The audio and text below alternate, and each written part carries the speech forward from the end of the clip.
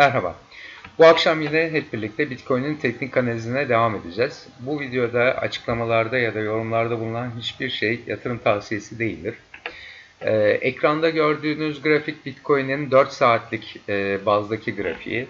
Ee, burada e, 20 bin seviyelerini gördükten sonra düşen bir e, kanal içinde hareket ettiğini görüyoruz aslında Bitcoin'in. Burada şunu düzeltelim biraz. Evet şu, şunun gibi bir e, düşen e, kanal içinde hareket ediyor uzun zamandır. Yaklaşık bir aydır ya da ne kadar olmuş? E, Aralık 17'sinde görmüş o tarihten itibaren.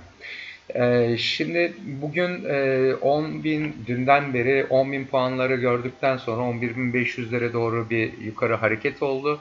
Ee, peki bu hareket devam edecek mi? Yükseliş e, artık başlıyor mu? Düşüş trendi bitti mi? Bu soruların cevaplarını arayacağız ya da sinyallerini e, yükseliş varsa yükselişin sinyallerini almaya çalışacağız hep birlikte. E, bu 4 saatlik grafiği incelediğimizde bizim için önemli olan, çok çok önemli bir direnç çizgisi 17.000 seviyelerinden gelen düşen trend çizgisi. Bu düşen trend çizgisi 17.000'den sonra 14.268 puanda test edildikten sonra çok sert bir düşüş geldi ve e, Bitcoin 9.000 seviyelerine kadar e, geriledi. Biz o tarihlerde 8.500 hedefini koymuştuk. E, 8.500'e çok çok yaklaşan e, 9.000 gibi bir e, değeri buldu ve buradan tekrar yönünü yukarı çevirdi. E, daha sonra 13.045 puan seviyesini gördükten sonra ki bu fiyatlar Bitrex borsasının fiyatlarıdır e, bu seviyelerden tekrar yönünü aşağı indirdi ve 13.000'den 10.000'lere e, 9.900'lere tekrar geldikten sonra dünden beri e, kısa vadeli bir yükseliş trendi içindeyiz şu anda ve e, 11.512 puan seviyesini gördükten sonra da yönünü tekrar aşağıya çevirdi. Peki bir e, bu 4 saatlik grafik 4 saatlik grafikteki Haykin aşı e, gösterim şekline bir bakalım isterseniz. Gördüğünüz gibi burada da e, şu 4 saatlik e, mumdan sonra yeşiller gelmiş ve e, bize alım sinyalini aslında şuradaki e, yeşil mum aşağıya ve yukarıya sarkmış yeşil mum alım sinyali üretmiş. Daha sonraki 4 saat içinde tekrar yükselmiş ve fiyatlar aşağıya gelmiş. Tekrar yönünü yukarı çevirdikten sonra da bu 17.000 puan seviyelerinden gelen düşen trend çizgisi 11.512 seviyesiyle test edildikten sonra tekrar aşağıya gelmiş. Şu anda ise e, son içinde bulunduğumuz 4 saatlik dilimde ise e, Haykin aşı kırmızı aşağıya sarkan bir mum e, gösterimi var. Eğer ki bu içinde bulunduğumuz 4 saatin bitiminde bu mum kırmızı bir şekilde kapanmış olursa, e, kapanış itibariyle kırmızı yanmış olursa muhtemelen e, düşüş devam edecektir diyor bize Haş'ın e, Haykin aşı gösterim şekli. E, bu gösterim şekline göre 4 saatlik grafikte e, indikatörlere bakalım hep birlikte. Onlar nasıl bir sinyal üretmiş. MACD'ye baktığınız zaman MACD'de e, al sinyali birkaç 4 saat önce gelmiş. E, yukarı yönde harekette e, bunu teyit etmiş. Ancak şu anda e, gösterge e, zayıflamakla birlikte yataya yakın bir hareket izliyor. Yani sat sinyali üretmesi çok da zor değil açıkçası e, MACD'ye göre. E, Halk'in aşı gösterim şeklinde bu arada. RSI'ye bakalım. Burada herhangi bir e, ekstrem bir durum var mı diye. RSI'de de e, RSI son içinde bulunduğumuz 4 saat itibariyle satışa dönmüş. Yani satış sinyali yönünü aşağıya çevirmiş. E, ama tabii bunu hep birlikte göreceğiz. E, diğer taraftan stokastik'e bakalım. Stokastik ne söylüyor bize? Stokastik de yine e, şu an içinde bulunduğumuz saat 4 saatlik e, itibariyle de sat sinyali üret, e, üretmek üzere e, ama henüz bunu üretmiş değil. Yine e, buradan şöyle bir trend çizgisi var aslında. E, 4 saatlikler itibariyle. Bu 9960 seviyelerinde 9950'de gördükten sonra 2 gün önceki e, bir içinde bulunduğumuz kısa vadeli bir yükseliş trendi içindeyiz. Ve şu anda e, bu yükseliş trendinin e, trend çizgisi test ediliyor Haykin aşağıya göre.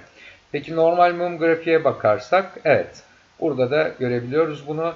4 saatlik grafikler itibariyle arkadaşlar e, şu anda bu trend çizgisini test ediyoruz.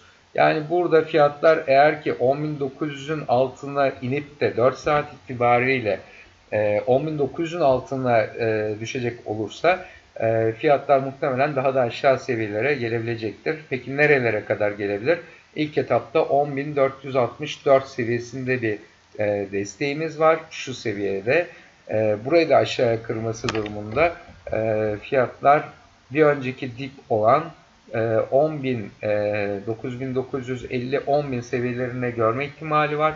E, bu seviyede bizim için psikolojik e, destek seviyesi 10.000 düz bir rakam olduğu için e, 10.000 seviyesi de aşağıya kırılacak olursa fiyatlar bir önceki dip seviyeleri olan 9500 ve 9000 seviyelerini e, görme ihtimali var.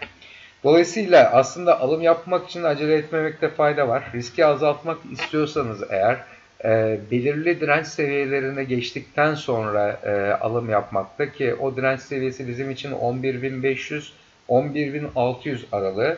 E, bu seviyeleri geçtikten sonra işte çeşitli e, yine şu, şöyle gösterelim direnç seviyelerimizi. Şurası bizim için bir direnç ki bunun da rengini yeşile boyayalım. Bu direnç kırılacak olursa bir sonraki yani bu seviye 11.450 11.500 seviyesi. Burası da yukarı kırılacak olursa pardon şöyle yapalım. Evet o zaman e, hedefimiz bir önceki zirveler olan e, şu seviye ki buralarda 11.950 12.000 e, arası. 12.000 seviyesi de yukarıya kırılacak olursa 13.045 daha önce gördüğümüz, geçen hafta içinde gördüğümüz e, zirve seviyesi ki öncelerden de bu destek olarak da test edilmiş önem kazanacaktır. Özetle yukarı çıkışlarda çıkışın devam edebilmesi için 11.500'ün mutlaka yukarı kırılması gerekiyor. 11.500'den sonra 12.000, 12.200 e, o seviyeler bizim için direnç.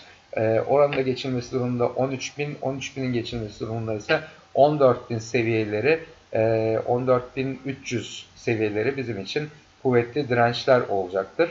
E, düşüşlerde de e, şu anda bulunduğumuz seviyeler 11.000 e, puan seviyeleri çok önemli. 10.900, 11.000 bandının aşağıya kırılması durumunda fiyatlar 10.000 seviyesini görebilecektir. 10.000 psikolojik desteğinin de aşağı kırılması durumunda fiyatların e, 9.500 bir önceki gördüğümüz dipler olan ve 9.000 seviyelerini görmesi muhtemel. E, buna göre bu destek direnç noktalarına göre hareket etmekte fayda olduğunu düşünüyorum. Orta vadeli yükselişin tekrar başlaması içinse şu e, ekranda gördüğünüz e, düşen kanalın yukarı yönde kırılması gerekir arkadaşlar ki bunun kırılması için de 14.500 seviyesinin üstüne e, atıp fiyatların oralarda kalma, kalması gerekir. Bu akşamki teknik analizim bu kadar. E, hiçbir şey, bu, burada anlattığım hiçbir şey yatırım tavsiyesi değildir. Daha önceden de belirttiğim gibi. E, lütfen yatırım yaparken kendi analizlerinizi yapın ve haberleri, e, bu piyasa ile ilgili haberleri çok dikkatli izleyin. Zira regülasyonlar, yasaklamalar vesaire bunlar çok e, net bir şekilde etkiliyor piyasayı. E, hepinize bol kazançlı, doğru kararlar alacağınız günler diliyorum. İyi akşamlar.